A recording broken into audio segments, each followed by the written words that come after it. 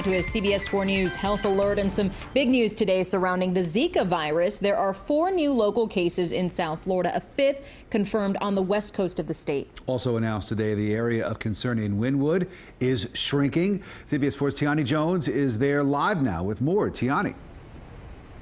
Well, obviously, businesses are happy to hear that that zone is shrinking, but quite frankly, they're sick of hearing about the zone and feel like there should only be one zone, the entire city of Miami for the map to be lifted. A shrinking map is good. No map, even better. Joseph Furst with the Wynwood Improvement District says this shaded area that the state created and labeled a Zika zone is just wrong. And I think the map needs to be lifted for several reasons. From a policy perspective, it creates a false sense of security for people that are outside of the map when we all know this is a regional, state, and, and national issue.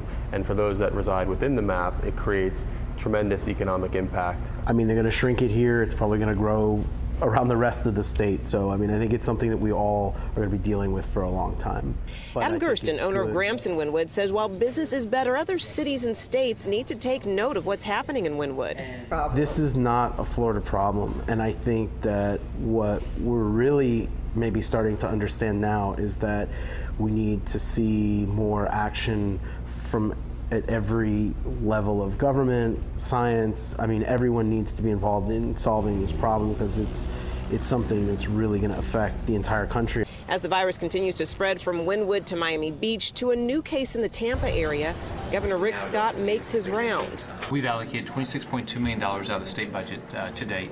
His office sent out a press release announcing the shrinking zone in Wynwood, but at the same time mentioning new cases in the area. I find the press releases coming from the governor's office to be uh, dissatisfying, frankly misleading. Um, I think they're quite problematic. Uh, if you read the first paragraph of it, it, it, makes it seem as if though there's four new cases, which as you read deeper, you realize that's not the case. Business owners say they can only wait and see how much more they'll be impacted. And in the meantime, people should just put on repellent and continue to live their lives. The new normal here in Wynwood is business leaders coming together, having meetings, trying to see how they can drive business back into Wynwood. They're going to be having another one of those meetings on tomorrow. Reporting live in Wynwood, Tiani Jones, CBS 4 News.